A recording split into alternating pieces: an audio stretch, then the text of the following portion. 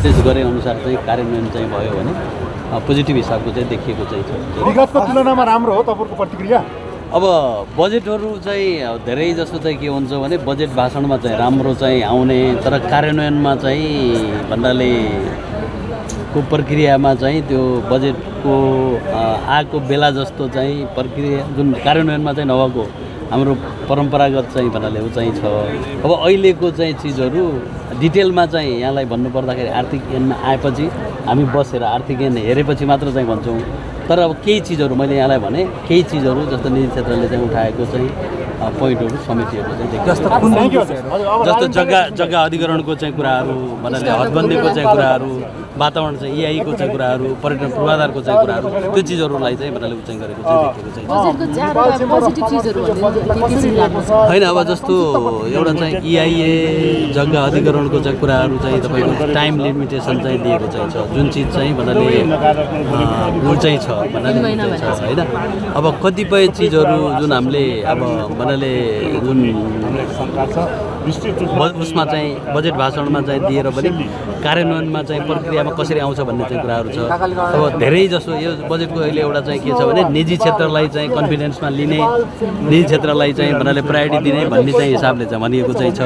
अब रियलमा आर्थिक ऐनमा र कार्यान्वयनमा कसरी आउँछ त्यसलाई चाहिँ हेर्नुपर्छ। ठ्याक्कै कसरी बजेट चाहिँ विस्तृत रूपमा चाहिँ अब हामीले आर्थिक जुन विधेयक आउँछ त्यो एकचोटि अध्ययन गर्नुपर्छ रातो किताब सरसर्ती यो बजेट चाहिँ अलिकति विगतमा भन्दाखेरि दुई पोइन्ट चान्चुनले घटाएको अवस्था छ बजेटको साइज तर अलिकति यो बजेट चाहिँ एउटा सीमित र स्रोतको साधन भएको मुलुकमा अलिकति वितरणमुखी जस्तो देखिएको छ। र चाहिँ उत्पादनशील बढाउनुको लागि कतिपय कुरा जडीबुटी जन्ने कुरा खानीजन्य कुरा कृषिमा चाहिँ विकास गर्ने कुरा ल्याए तापनि जुन किसिमको अहिले मुलुकको अर्थतन्त्र सङ्कटमा गइरहेछ सूचक नकारात्मक छ। र चाहिँ यो अब त्यसमा चाहिँ विभिन्न क्षेत्रमा चाहिँ एउटा चाहिँ वितरण गर्ने कुरा पनि ल्याइरहेछ। यसले चाहिँ अलिकति सङ्कट हुन्छ कि भन्ने कुरा राख्न चाहन्छु। विस्तृत चाहिँ हामी। अध्ययन गरेर भोलि चाहिँ अफिसियल्ली चेम्बरबाट चाहिँ प्रतिक्रिया। दिनेछौँ। एकदमै एड्रेस भएको छ। जस्तो के छ कि औद्योगिक क्षेत्रको लागि हामीहरूले भन्दै आएको छौँ कि बाँकीका छवटा औद्योगिक क्षेत्र हामीहरूको कार्यान्वयनमा आ- आउनु पर्यो। बजेटमा दुईवटा औद्योगिक क्षेत्रलाई मतलब अगाडि बढाउने कार्यान्वयनमा लाउने र दुईवटालाई पिपिपी मोडलमा अगाडि बढाउने यो प्रतिबद्धता पनि आएको छ। तर यसको चाँडै कार्यान्वयन भएमा यसको मतलब रिजल्टहरू देख्न सकिन्छ। दोस्रो कुरा के छ कि ठुलो ठुलो प्रोजेक्टहरूले नेपालमा जुन सामानहरू लाएर यिनीहरूले मतलब प्रोजेक्टहरूको कार्यान्वयन गरिराखेका थिए। त्यसमा अब नयाँ कुनै पनि सम्झौता हुँदाखेरि त्यो प्रोजेक्टहरूको सामानमा नेपाली स्वदेशी सामानहरूलाई नै प्रतिबद्धता गर्ने यो पनि कुरा गरेको छ।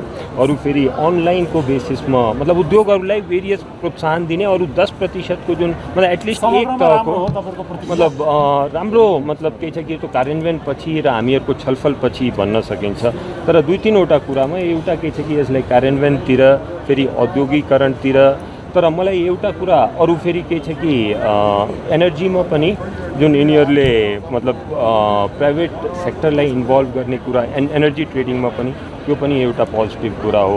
तर के छ कि जुन तरिकाको हामीहरूको लगानीको अपेक्षा गरेको थिएँ लग- लगानीको प्रोत्साहनको अपेक्षा गरेको थिएँ त्यो मलाई लाग्छ कि कहीँ हामीहरू चुक्न गएको छौँ।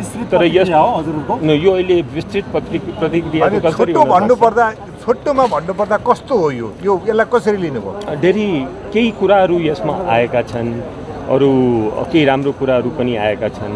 तर कहीँ हामीहरूले लागिराखेको छ कि जुन लगानीलाई प्रोत्साहित गर्नुपर्ने त्यहाँ कहीँ हामीहरू चुकेका पनि छौँ।